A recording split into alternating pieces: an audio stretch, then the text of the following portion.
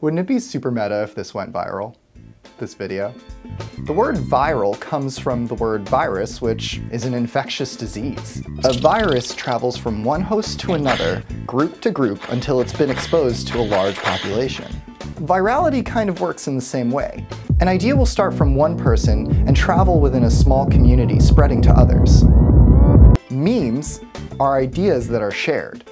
Language, trends, and behaviors are all considered memes by many sociologists. In his book, Virality, Contagion Theory in the Age of Networks, Tony Sampson argues that the rise of the network society has provided the perfect environment for memes to travel faster and further. That's because online social networks, and I'm looking at you Google+, have created small groups where similar ideas can spread like, well, a virus. Many people have examined how virality works and why people share things on the internet. Memes can broadcast our identities. We like to spread information that can help to inform our networks, like DIY projects.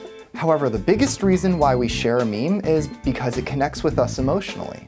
Anyone remember the dancing baby from the 90s? Really? No? You know, the, the, the Ooga Chaka baby. Really? The dancing baby was one of the first viral things on the internet because it was weird and it made us laugh. Last Christmas, WestJet released a viral marketing video where WestJet flyers were treated to gifts as they got off their plane. We all shed tears, and the video was a huge viral success with over 36 million views to date. Cute animals rule at internet virality, and small-time pets are becoming huge internet sensations almost every day. These are all things that make us laugh, cry, think, feel, and just go, Aww. And thus the circle of virality continues.